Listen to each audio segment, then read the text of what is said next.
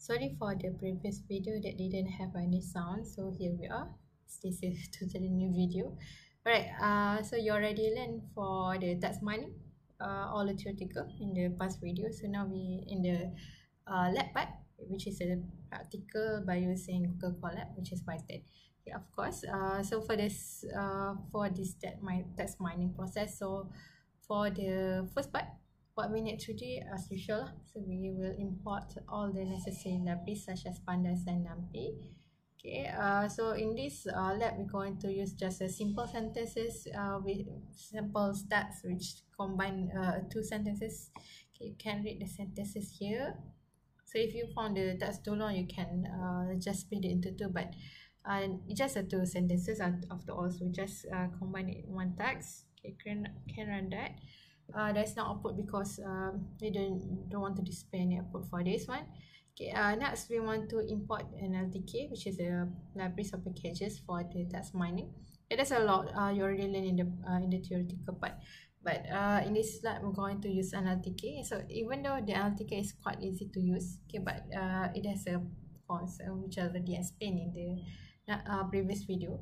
So you have to download a lot of uh, libraries lah okay like tokenization you have to download this and then if you want to um, do the next process like stemming you have to download another uh, another stemming and and like demonetization you have to download another packages so and so on lah.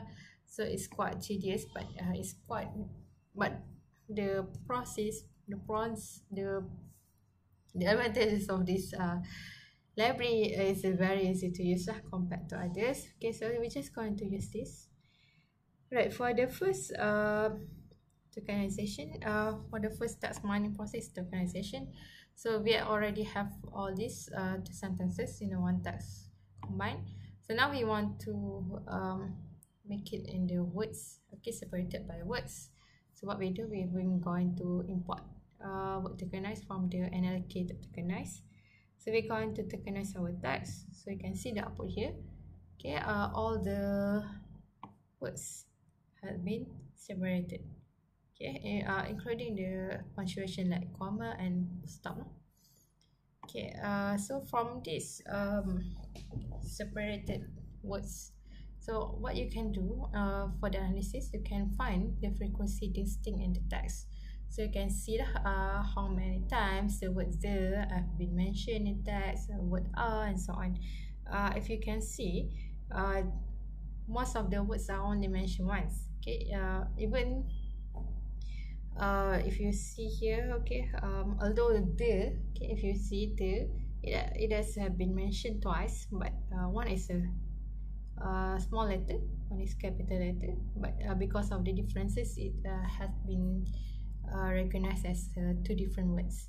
Okay so in order to find the frequency you have to make sure your words uh, not just have a same meaning same spelling but it has to be same capital letter. Okay like this uh, the one and another one is the one. So uh, it's doesn't list for all words lah. But if you plot the graph okay, like uh, here okay so we, we import matplotlib of course and if you plot it you can see all the word has been mentioned once only. Okay so there and there. Okay uh this is not uh, kind of useful for this kind of practice uh, because we only have two sentences in one text. But if you have a long text in a, a one document that has a very long sentences and long paragraph like your thesis and so on so you can analyze and there's more words that you can analyze that's more useful than this practice lah. Okay you can try it by your own. Later okay uh the next uh process is stemming. Stemming is where we want to find the root words. Okay like i already mentioned in the theoretical part. So from here we're going to import a porter stemmer okay so if you let's um in this case okay i stem the word provides so the words okay are going to be stem es even though the um we just going we the no the root word is a provide okay we just added as okay but uh as a stemming process uh the the face the process itself doesn't understand eh so it took that uh, es as a additional words. So it stem that word and the root word become profit. If if you google this uh this word has no meaning though. So the uh real meaning of the word profit has been changes uh.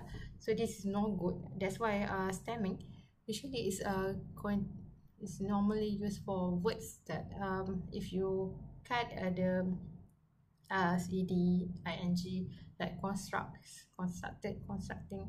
Okay the the original word all you're going to get construct which has uh, same meaning okay uh without all these um prefix and suffix.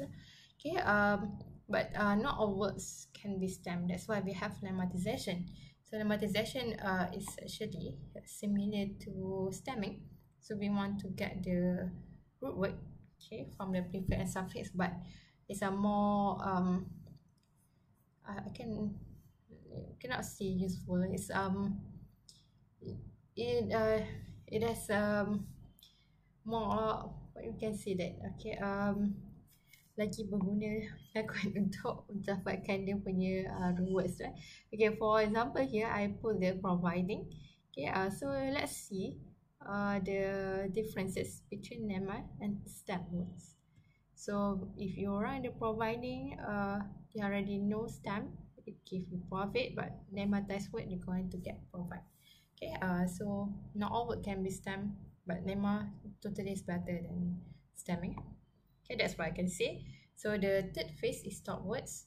So before we can um, process this uh, text mining so we have to download the stop words okay imported from the word recognize corpus also uh, stop, uh, import stop words so this one already uh, mentioned that we use English. Okay so we are going to recognize all these words okay let's say from our text okay so this is a normal text so if you print a stop word so it's going to remove the uh to so all the words that that's uh, that has no meaning lah. So like many cars road Kuala Lumpur all the meanings um all the words with meaning are going to be remain including the punctuation. Okay the next the next phase is a uh, part of speech tagging. So pause. So you have to download this uh, library. And then from the tokenization so if you run it so all the words have been tagged okay with the uh, verb pronouns and so on. Okay uh, second last is name entity recognition. So this one we have to download all those two libraries. Okay and then since our tags don't have any um not much things that can be recognized okay if you can see there are too many cars on the road Kuala Lumpur is a place Malaysia is a place other than that uh, just a words so network integration should recognize those two only lah. Okay uh, Malaysia and Kuala Lumpur as a place okay so the last one is a chunking. Okay where we uh is a similar to a POS but uh is grouping the word to better group. Okay so the process quite similar.